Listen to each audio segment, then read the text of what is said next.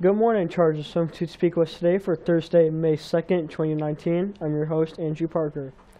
Today's lunch menu includes chicken nuggets with rolls, salad pizza, or country steak sandwich with fries. Friday is a busy day in the library. Be sure to stop by to celebrate the release of Zeitgeist. Purchase a copy for $9 and be sure to bring a few extra bucks for cappuccino and donuts. As an added bonus, you can stop by and view the projects covering the Berlin Wall and alumni involvement that were recently completed by Miss Brewer's historical inquiry class.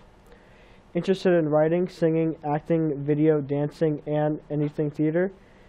Topeka West Players may be the best, best place for you. We are looking for a strong ensemble built from the people with many talents besides or in addition to acting.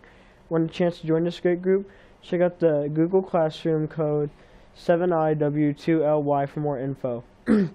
Auditions are May 13th from 4 to 6 p.m. in Mr. McCoy's room A110. StuCo campaigning begins this week and elections will take place during seminar on May 6th.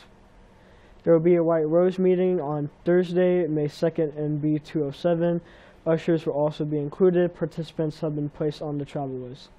Sophomores and juniors, can you fit ACT prep in your class schedule?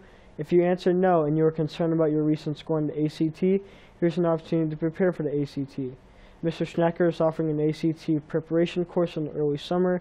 Each student will receive a practice booklet, 10 hours of instruction, test practice, and refreshments. Contact Mr. Schnacker in B203 or by email before May 6th to find out the cost and to reserve your spot. Looking ahead to activities this week, today there is a White Rose meeting in B207, Varsity Golf Invitation at Junction City, and soccer at Junction City.